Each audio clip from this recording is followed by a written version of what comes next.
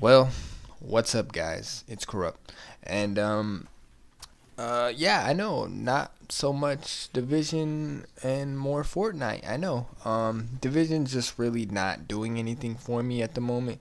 Um, I'm just when I get on, it's just not fun for me, and pushing out content for Division is just I don't want to do it. Like at the moment, it's just something I'm not motivated or passionate about anymore.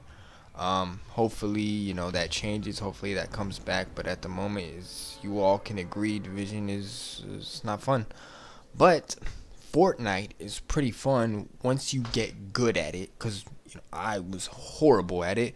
Um, believe me, uh, you'll see. Uh, it's a, I've gotten a lot better since when I first started playing Fortnite with my friends.